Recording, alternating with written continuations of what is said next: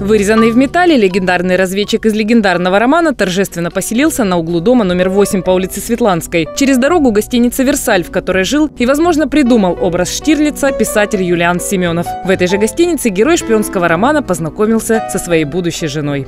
Вопреки распространенному мнению, настоящее имя Штирлица вовсе не Максим Максимович Исаев, как это можно предположить из «17 мгновений весны». Его настоящее имя Всеволод Владимирович Владимиров. А псевдонимом Максим Максимович Исаев Штирлиц начал работать в пресс-службе Колчаковского правительства в 1920 году.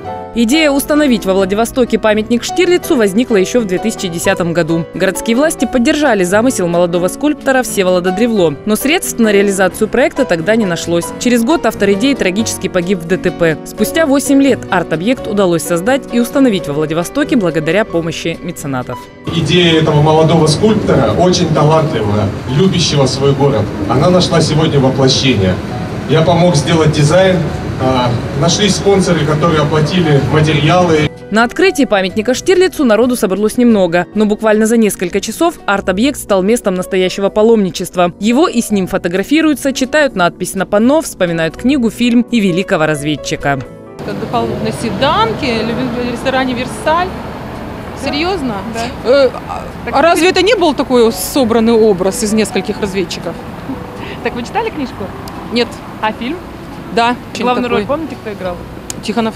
А фильм смотрели? А как же, 17 лет. Я с внуком пришел. И он бы участвовал на митинге. Да. Очень хорошо. А внук смотрел?